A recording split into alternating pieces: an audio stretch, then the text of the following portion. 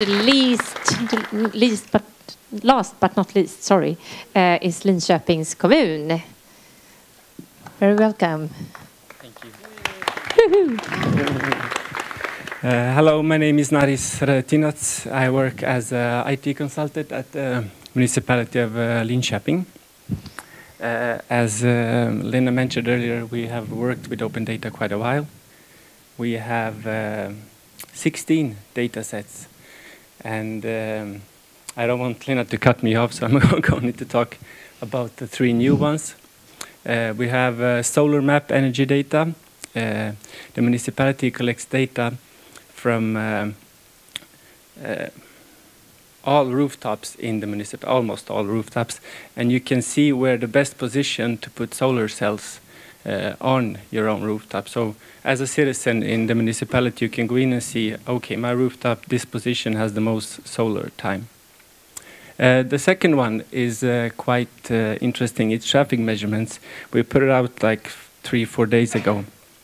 Uh, we have data, every traffic light in the municipality um, collects data that uh, number of vehicles that pass in every direction so we can uh, collect data and see in real time how many uh, vehicles pass every intersection with a traffic light.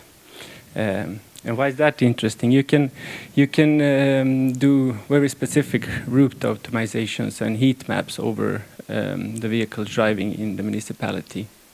Uh, it's also interesting for the municipality because we have a goal to be carbon dioxide neutral 2025 and we can see if the car driving is increasing or decreasing in the municipality.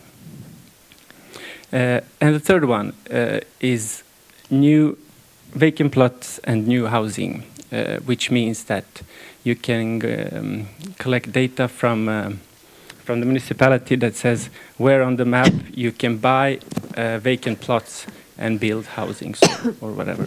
But also a list of new new buildings that are built um, uh, on a map. You can collect uh, how many apartments or buildings in the buildings. Uh, can you rent them? Can you buy them? And uh, um, where they are with um, longitude and altitude.